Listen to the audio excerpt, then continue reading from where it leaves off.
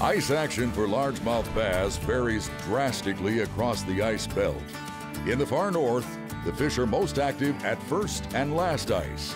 But across the southern edge of the ice belt, the fish remain active all winter and are a standard target for anglers.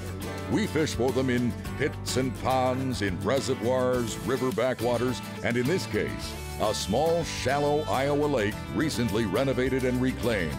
There we are. Ha! Good job. I love catching them. Hey, man, nice fish. Hey, we're with guide Kevan Paul, works out of Clear Lake, Iowa, works the Okobojis and all the little surrounding lakes. And indeed, today what we've got is a, a reclaimed lake that you uh, are fishing.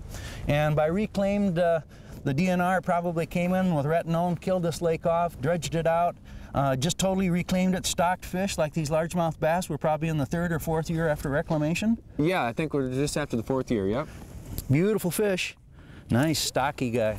Now, when you're talking tactics for tough times, I like to look at it at least two ways. And one of the things that we've just talked about, uh, reclamation lakes and that kind of thing, one thing you always want to be do during tough times is you want to be on a, a, lake with a lot of fish. So you've got that in this case here. So you're always keeping track of which lakes are up, which lakes are down. Sometimes a lake gets fished real heavy. Three years go by, nobody's fishing it. You can sneak into a lake like that. So that's one tactic for tough time. The other tactic for tough times is what we're doing right here. We're searching to begin with. If we get on some fish, we might uh, actually slow down, use jigging, and then also go to some dead stick rods. Yeah, you know, definitely when you're fishing a new body of water like this, you always want to make sure you can cover a lot of water and, and use appropriate tactics like you said, the Jigging Rap and stuff, it's a heavier bait, you can get down there and you can keep getting from hole to hole and not waste too much time in one spot. And I've caught bass on Jigging Raps all across the country, ponds, lakes, reservoirs, even backwaters and rivers, so it's a great proven bait.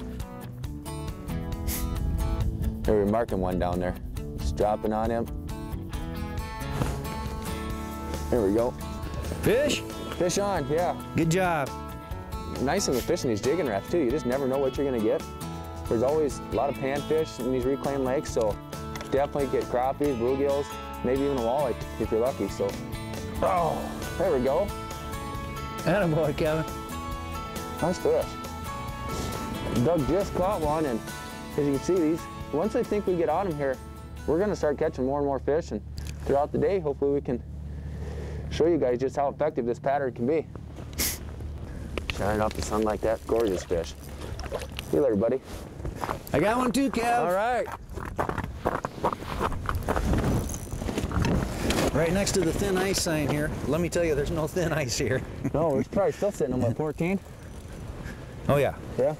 And but on these reclaimed lakes, what you do have is they've got an aeration system here to keep these fish from freezing out.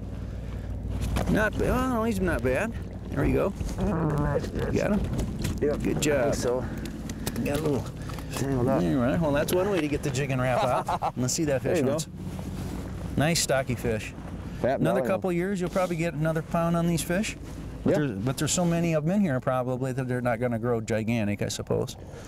Well, this lake, uh, before they did the project, we had some big, big fish in here. Okay. I think I think that within a few years we're going to notice some nice fish and even probably some trophy quality fish here in the next five years. Well, and there's but there's probably good reason to harvest a few of these too. So uh, we're not going to do that today, but I can see I love to eat bass there. So what I would suggest, we'll put this one back here. We'll set out some dead sticks to go along with the jigging and show uh, how that's done too. Gotta get myself a minnow here first. So with the minnow, I'm going to anchor that minnow with a custom jigs and spin demon jig but it could be just a plain lead head jig off and use. And when you hook up, instead of going under the dorsal fin, you want to go just along it, just underneath the skin, like that. So this minnow is going to swim forward, and then that jig head is going to anchor that minnow. Just open the bail. I'm going to go all the way down to the bottom, then come up about a foot and a half to two feet. Largemouths tend to like that quite a bit, so about right there. Then the line itself, right out of the reel, goes down into this clip right here. That clip goes down, the flag goes under this arm, and when the fish bites, it pulls the clip up, the flag trips, and you know that you've got a bite. This is a system I've used for a lot of different things. For walleyes, catfish, it's great. Uh, we use it for crappies a lot of times. So it's a good system when you're uh, in a tough situation and you want to be jigging in an area at the same time you're presenting some live bait on an anchored rig like I just showed you right there.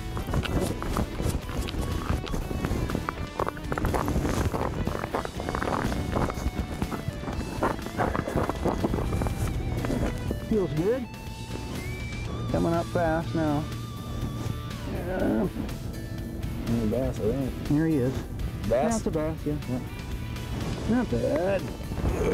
Open up, buddy. Oh, there we go. Good job, thank you. No problem. Get the demon on there. Let's have a look. Yeah. Not a giant, but not bad, by golly. You know, sometimes when conditions are tough, first of all, you know, we talked about doing your homework. You want to be on a numbers lake instead of a, a big fish lake. In the big fish game, that's a totally different story.